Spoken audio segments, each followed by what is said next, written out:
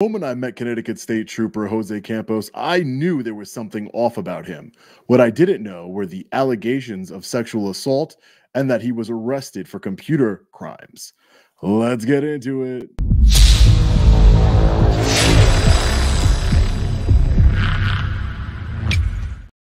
Hey, what's up, guys? Long Island Audit here, back again with another video. So, today is a very special video. We're going to be reporting on some information that was sent to me regarding Connecticut State Trooper Jose Campos. If you do not remember him, he was actually featured in one of my audits. It was a very strange interaction. We're going to be getting to that interaction as well as the sexual assault allegations that were levied against him. But first and foremost, he has been arrested for computer crimes. Let's take a look at that. Trooper is now under arrest, accused of using a state police computer system to run a license plate for non-law enforcement purposes. We can tell you that Trooper had also been investigated point for sexual assault, but that case was later dropped. NBC Connecticut's Matt Austin joining us live in Hartford with more details. Matt. Yeah, so Mike and Keisha, we're told that Trooper was officially arrested here at Troop H earlier today. He has been fully suspended with pay.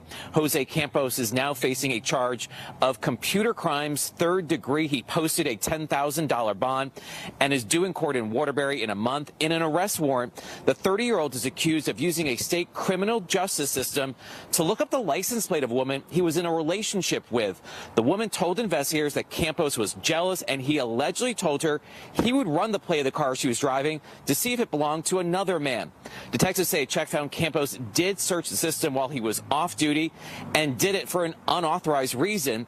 State police say an internal affairs investigation was started and a referral was made for a potential decertification in a separate investigation last summer, allegations against Campos were also raised of sexual assault claims. Today, state police say other cases have now been closed and the state's attorney declined to prosecute because of a lack of probable cause.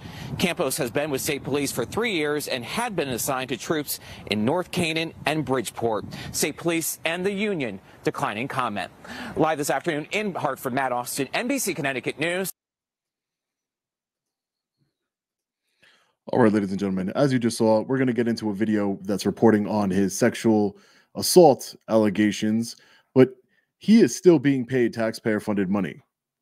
Till this day, he is receiving a taxpayer funded check, if you can believe it. It's absolutely disgusting. You know, allegations of sexual assault. Now he's been arrested for computer crimes, and yet he still receives his taxpayer funded check. It just, where's the accountability? You know, I, I think about the the contrast between this and Sergeant Brian Fahey. We all know Sergeant Brian Fahey is uh, the uh, Connecticut State Police, the special licensing and firearms. And would you believe it? The reason why I spoke with Jose Campos in a previous follow up audit is because he works directly for, or worked at this point, he worked directly for Sergeant Brian Fahey, Special Licensing and Firearms Division. That's where he worked this unhinged individual. So again, we're going to get into our interaction and so you could see that again because it was absolutely bizarre and now with this kind of context of his character or what is allegedly his character you know it, it brings everything into light because that was one strange individual and, and it's it's absolutely shocking so let's take a look at this video. What this investigation is all about. State police say that they were called to this home on Oldfield Road around 1:30 this morning for accusations of sexual assault made against a Connecticut State Police trooper. Now there is still a very active scene here behind me. Major crimes is on scene, and again they have been here since about 1:30 this morning. Uh, police say that someone at this home made allegations against Jose Campos, who is a Connecticut state trooper, and that prompted a sexual assault investigation. Now, these allegations are being investigated again by the Major Crime Squad, and Campos has been suspended pending the outcome of this investigation. His police powers have also been revoked. So we have learned what exactly has been going on at this home again on Oldfield Road here in Southbury. We are going to continue to follow this closely, and any new details that we learn here, we will pass along to you. We're going to stay on scene here. As you can see, still a very active investigation at this point. Live in Southbury. All right, ladies and gentlemen. So I fully believe that everyone is innocent until proven guilty. But when it comes to law enforcement officers, it's a little bit different because they're not often given you know a trial. They're they often let off early, right? They don't get charged with anything. For example, the sexual assault allegations that were made against Trooper Jose Campos. The state's attorney found that there wasn't enough probable cause. Did you not see the response at his home right there in that news article? There was about six law enforcement officer vehicles. There was um, a major crimes van there. So they took it very seriously at the time, but there wasn't enough probable cause. So, you know, I can I can only take the Connecticut State Police with, you know, their words and, you know, for the grain of salt because as we've seen, Sergeant Brian Fahey grabbed my shirt in order to prevent me from falling backwards. He didn't break my phone. He placed it in a bed of mulch. He thought it was a taser through his training and experience, and he committed no wrongdoing. So the Connecticut and the now when he did when he took my phone for the second time and he assaulted me again with the door violently, like the unhinged maniac that he is. It takes five months to investigate. We just did a follow up video. You can go check that out in the description. But it takes five months for internal affairs to investigate a three minute incident where there's body camera, first first hand footage, and security camera footage. It makes no sense. The cover up is in, the fix is in, in for Sergeant Brian Fahey. He's telling people in his email that he's getting promoted. So it's kind of hard for me to believe that Sergeant, that excuse me, State Trooper Jose Campos is completely innocent of any wrongdoing here because the mainstream media, no one wants to cover it. The local media sometimes will cover it one time. And where's the follow up on the sexual assault allegations? We need follow up on that. We need some follow up on the sexual assault allegations. So I'm going to take it upon myself to investigate that. I'm going to reach out to as many people as I can submit FOIA requests for all the documentation, and then let's we the people be the judge if there was enough evidence to be to, for him to be prosecuted on that serious charge because he was charged on com computer crimes. This man was logging in with his official um, Connecticut State Police username, and he was looking up his girlfriend in all of her cars. I don't know why she has so many cars, but you know, he's looking up all of her cars. He's he's basically using the Connecticut State allegedly using the Connecticut State Police um computer system in order to stalk his girlfriend. That's what's really going on here. So they kind of go hand in hand the two allegations made against him. This one he was arrested for um again suspended, fully suspended, but he's still getting a taxpayer funded paycheck.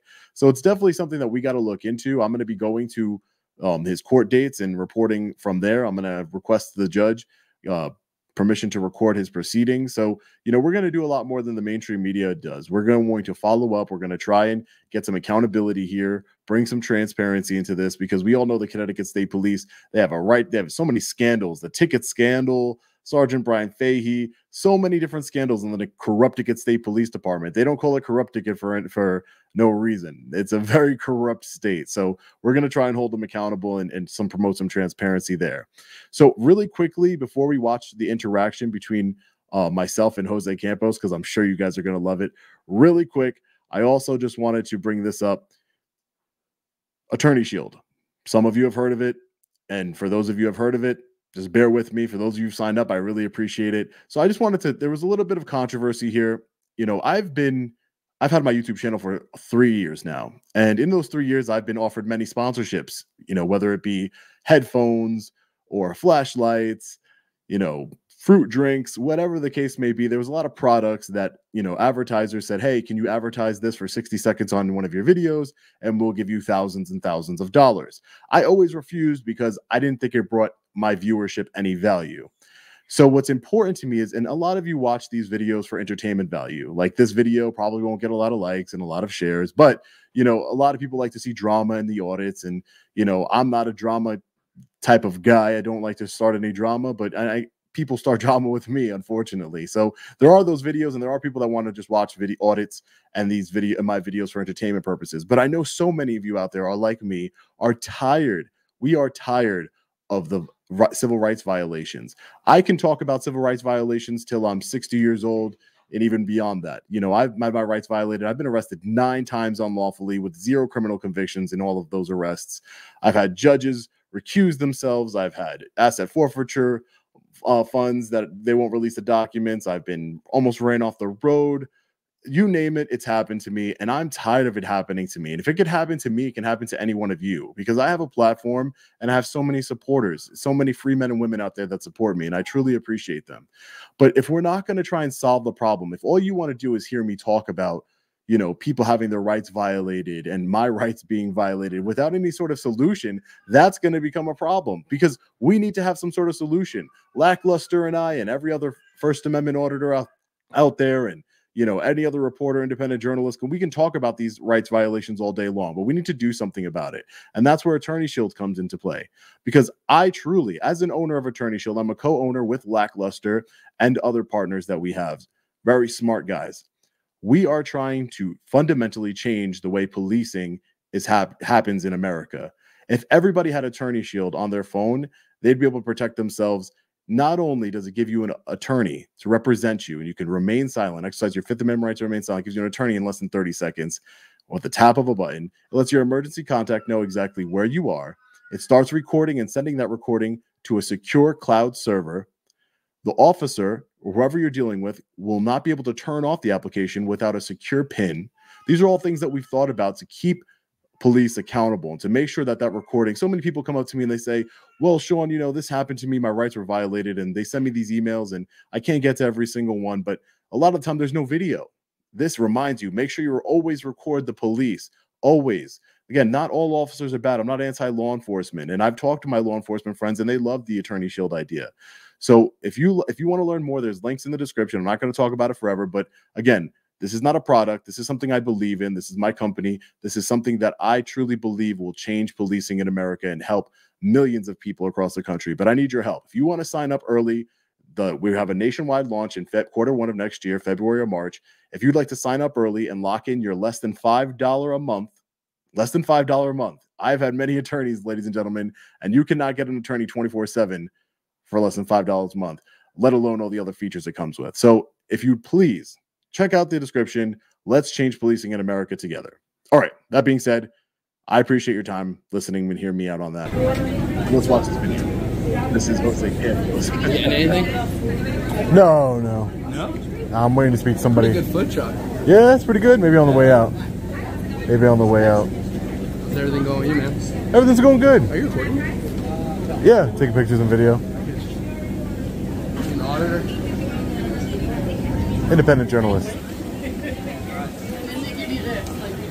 When did you start doing this? When did I start? Two and a half years ago. Yeah, I've been exposing a lot of corrupt law enforcement officers. For school for journalism? No, no, no, I didn't. I, I just been exposing a lot of corrupt law enforcement across the country, and I actually work with police departments and trainings. They invite me in to do trainings at the That's sweet. When they start doing that? Yeah, um, last year, and I just got invited to another one. I just did one in North Bergen, New Jersey. So There you go. trying to bridge the gap between law enforcement and the Yeah, I've met a public. Yeah. What in your in your line of work? You're a law enforcement officer. Yeah. Yeah. Nothing wrong with transparency, right? Well, I work here, not a law enforcement officer, but I work here, so I met auditors. Uh, are you, Oh, expect- are you expecting for me to say something? I'm not going to say anything to you. No, I'm not. Ex- I mean, Your I, face I was. says that, though. A lot of I was- can't see your face behind the camera. Oh yeah, no, I was just a little concerned because you said you were a law enforcement officer, and then you said you weren't. So, I said I work at a law enforcement building. No, I said, "Are you a law enforcement officer?" And your answer was yes. So I kind of, You said, are you in law enforcement? I'm in a building that's I said you're law enforcement. okay. We'll we'll run it back. That- You're a law enforcement officer. That's why I record transparency. But that's that's why my face was like, "Wow, did this guy just commit a crime in front of my face What by pretending to be a law enforcement officer?" That's why I was a little shocked. I couldn't believe it for a minute. But no, I, I don't want you to say anything mean to me. I'd like to have a polite, cordial No, conversation with you. like this. Uh, like you're ready to get me to do I was ready to get you to do something. Yeah, like you're waiting for my response of something. Oh. That's what I was just asking. Oh, can no. I can ask you a question, right? Of course, you can ask me whatever you want. questions, sir. No, you can ask me whatever you want, sir. You mind if I get your name? Jose. Jose? And you have a badge number, Jose? No, because you're not law enforcement, right? You got me. Do you have a uh, ID number? Feel comfortable giving that out. You don't feel comfortable giving out your ID number? What department? line. What department do you work? I mean, you you struck up a conversation with me. What department do you work No, in? No, because I asked you if you were on lunch. I said, "Are you getting anything?" Remember that? Yeah. And then you started talking. Do you, And then I said, "Are you recording?" What- what You department do you work for, journalist. For the DSPP. DESPP. legal? No, not legal. Not legal. But what Do department? you know what DESPP? Department of Emergency.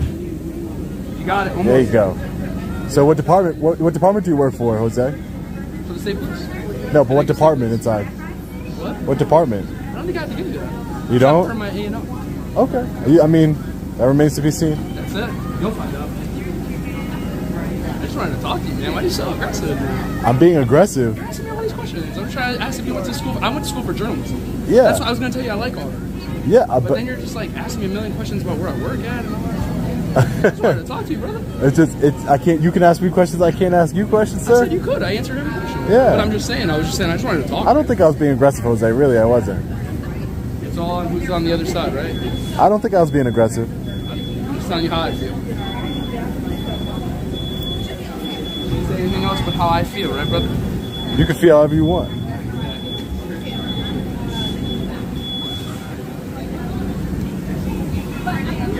Do you know Sergeant Brian Fahey? Do you know who that is? Sergeant Brian Fahey? Can you spell that? Sergeant Brian Fahey? Your accent, I can't understand. How do you spell Fahey? Fahey? Yeah, Fahey. Fahey? Fahey. F F A H E Y. Fahey. You spell it. You spell it I as it sounds. There's a couple Faheys. Yeah, there are. He's the uh, supervisor, a sergeant for the uh, pistol permits. Why are you yelling at that? Why are you yelling in my ear, dude? I turned around. I'm not yelling in your ear. You just screamed in my ear, bro. Stop. I'm nowhere near you. You're telling me that he's the sergeant, Sergeant, or something. I've already turned around. Oh, okay. Hey, man, you don't have to be so aggressive. Relax. I'm just having a conversation with you. Um, I'm waiting. Oh, oh, I was like, yeah, you waiting as well? Yeah, yeah, yeah. I think you're up, Jose. No, I'm waiting, sir. I know. I think you're up to order food. I, I got it all set. Okay. I think I just think it's your turn. That's all. Thank you. Okay. I, I gotta wait for my food, man. Oh. Right, it's gotta be cooked. Just please I'll see what you ordered. I did whatever I had to do, man. Please stop bothering me. I'm not bothering you. Turning around. You, you're, pointing, you a, you're pointing a thing and you're asking me, am I ready? I'm just eating my food, man. Please don't, don't, don't cut this out. No one's. Why would I cut it out? It shows. It's. Why would I cut it out? It shows how unreasonable you are. Why would I cut it out? Because I'm just, you're telling me that I'm up. I'm just trying to help I you. wait for my food. I was just trying to help you. Just trying to help you. I thought you would. I thought you needed to order because you said you wanted to know if I was in line. You wanted to know if I was in line, so I, I think. If this is the line for waiting for you. Um, I think they give you a buzzer, Jose. I think that's how it works. I think I know how. it works. Okay. How's your day going? It's going great. Let's turn this back around. How's Yeah, it's going great. Beautiful day. Positive energy only. Positive energy only. That's funny. Energy. Interesting. We're not okay with negative energy. You're not okay with what? Negative energy? We gotta love each other. Yeah, we got to bridge the gap, right? Between law enforcement and the by- public. You're doing that by teaching people different things. Yeah. You gotta also love people. Transparency. It's important. Waiting to get their food. Transparency and accountability. No one's messing with. I didn't even want to talk to you, Jose. You talk to me. This way keep talking to me while I'm turning around. Just wanna get food, brother. Jose, I think And this food is good. Are you gonna support? I think. Of course. Why not? Sure. Why not? I just. I got. I got business to do first. I'm not on lunch yet. I got. I got business to handle. I got business to handle. I'm here on official business. I'm here on official business. All right, ladies and gentlemen. there you have it. There's Jose Campos, Connecticut State Trooper. So I thought about it, you know, our weird conversation, that awkward, you know, he said I was aggressive. I don't think I was aggressive. He struck up a conversation with me. I didn't, you know, en- engage him in any way. I was there for Sergeant Brian Fahey. Uh, but now, after knowing what we know, is that, you know, he was accused of sexual assault um, which the state's attorney and Connecticut State Police dropped because of lack of evidence. But we're going to look into that ourselves. We're going to talk to the witnesses. We're going to FOIA request all the documentation.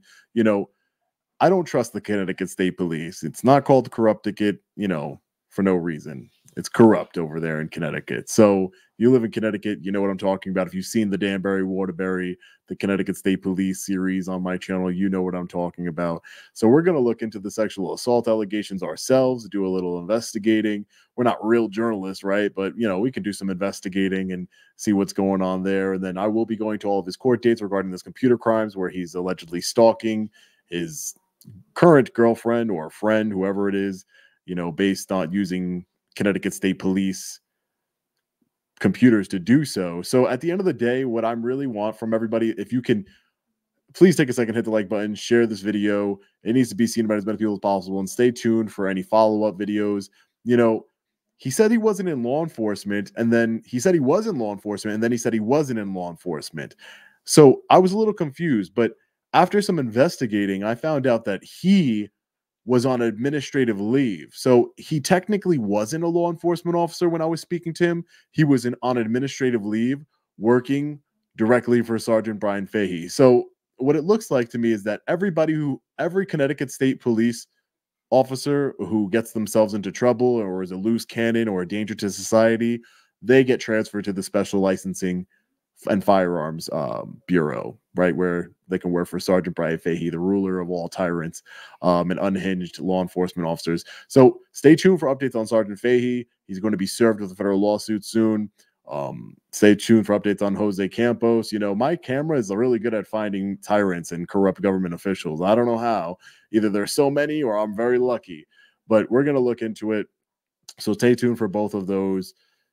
Attorney Shield right behind me. If you'd like to, it's my company. If you'd like to find out more, links are in the description. Let's give the power back into the hands of we the people. The government's had the power for way too long. I'm going to be getting involved in my local politics here and talking to legislators and doing everything I can to affect change in a more meaningful way. We've done it in the NYPD. We beat the NYPD. It's going through the appeals process right now. We're suing Berwyn. There's so many things that we've accomplished in the last three years, and I couldn't have done it without each and every single one of you. So I just want to let you know that I truly appreciate that. It means the absolute world to me. But without further ado, I don't have anything else to say, but I appreciate each and every single one of you guys. Let me know what you think about this one in the comment section below.